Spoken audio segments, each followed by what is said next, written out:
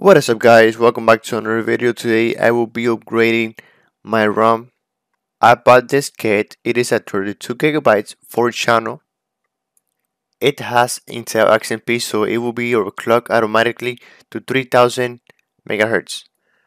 I will be upgrading from my previous 2400 megahertz dual channel and 16 gigabytes. So I am going from 16 to 32 gigabytes.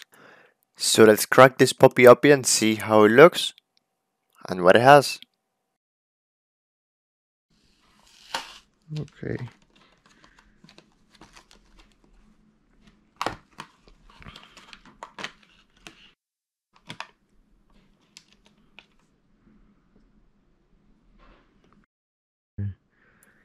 HyperX Fury DDR4 I recommend not to touch the gold part of the RAM because the oil of your fingers can get to that part and then it can cause problems.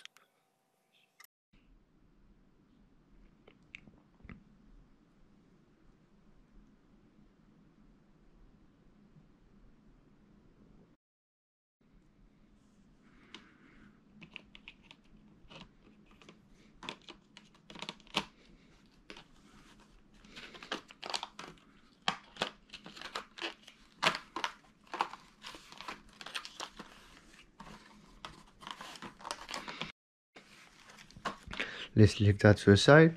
The first thing i recommend i already have it done but the first thing i recommend is to unplug your power from your pc you could do it standing up but i recommend flipping it around.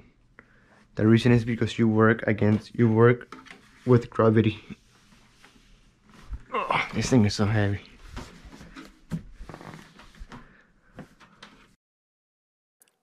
you work with gravity and it's going to be easier to install the RAM. Okay, so I will remove this old RAM out of here. This is my dual channel DDR4 2400 megahertz 8 gigabyte each. I will be removing them forever. And I'm going to install these new puppies.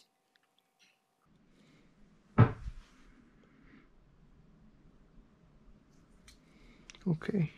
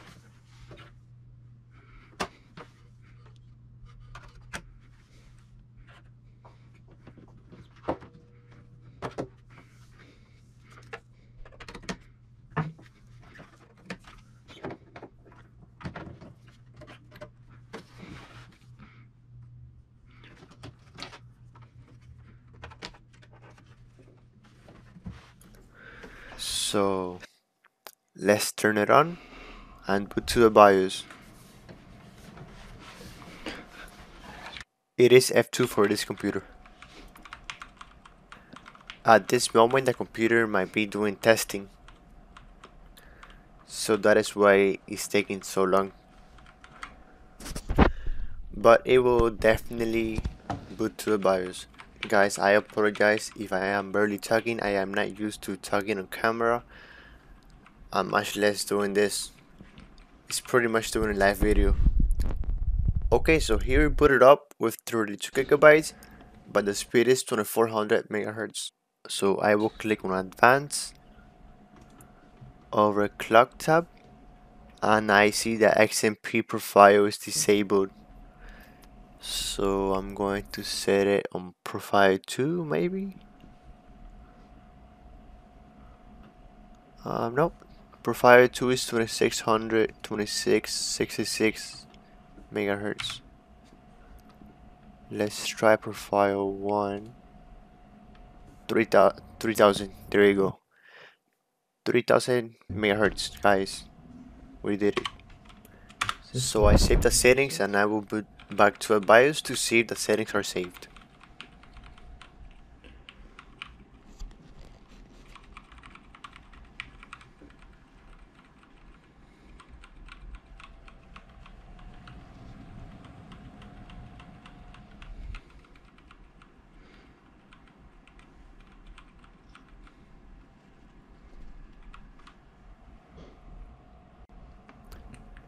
Current RAM frequency 3000 megahertz. So let's book to Windows and see what do we see in Windows.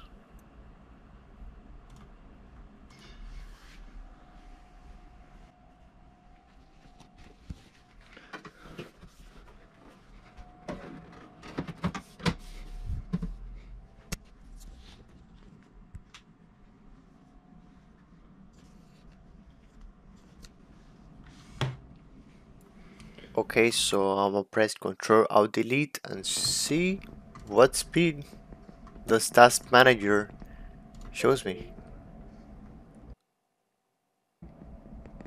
3000 3000 guys. Let's see what CPU Z shows shall we after this guys, by the way, I will be doing a benchmark rendering videos and with 4 games to see what is the difference of going from dual to quad channel and more mm-hmm. speed. Previously it would say channel number dual, now it says quad.